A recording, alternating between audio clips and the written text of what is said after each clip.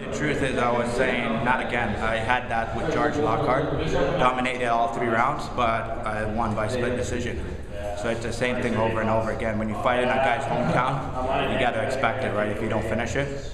But he trained very well for me. He knew what I was coming with, so his defense was pretty solid. No, I wasn't surprised. I knew they watch all my fights, so they knew the rear naked was my go-to. So when I was going for it, he already had his chin tucked, and I could hear his coach calling for it before I even attempted. So he kept reminding him, so he knew what to expect. Yeah, he was a lot tougher than I expected, and um, when I went for the choke, he just had his defense there, and that's why I couldn't get it. Yeah, I had I had an injury, so I couldn't really train as hard for this fight, so it affected my condition a little bit.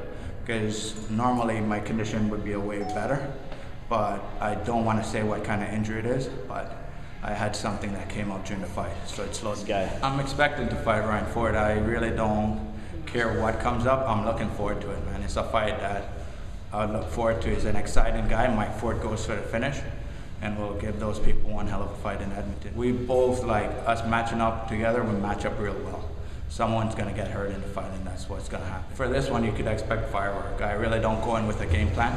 I just take what comes at me.